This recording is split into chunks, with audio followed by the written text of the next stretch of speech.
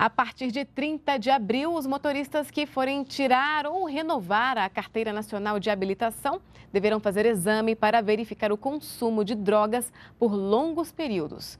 A exigência é válida para motoristas das categorias C, D e E, ou seja, condutores de caminhões e ônibus. O laudo do exame terá validade de 30 dias e, caso seja constatado o uso de substâncias proibidas, o motorista será considerado inapto temporariamente para dirigir. A avaliação deverá ser feita em clínicas credenciadas pelo Departamento Nacional de Trânsito. A medida foi publicada hoje.